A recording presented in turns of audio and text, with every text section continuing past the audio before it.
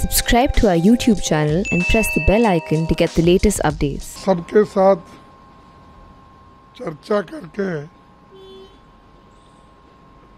2022 के चुनाव किस ढंग से लड़ना और उसके लिए क्या क्या तैयारियाँ करना और सब एक होकर किस ढंग से उस चुनाव का मुकाबला कर सकते हैं इसकी चर्चा कर रहे हैं और सब ठीक हो जाएगा। तो सिद्धू जी काफ़ी नाराज़ दिख रहे हैं। क्या लगता है आपको कि ये जो इलेक्शन आने वाले हैं वो सही निकलेगा?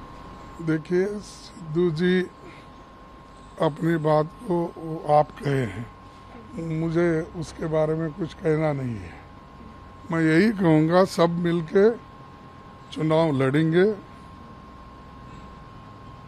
सोनिया गांधी जी के नेतृत्व में और राहुल जी के नेतृत्व में सभी लोग आने के लिए उन्होंने कहा है और वो कह, जो भी कहेंगे उस बात पे वो निर्णय लेके काम करेंगे। ऐसी सबकी इच्छा व्यक्त हुई है। सभी ने एक होकर कहा है कि हम पार्टी को फिर सत्ता में लाएँगे।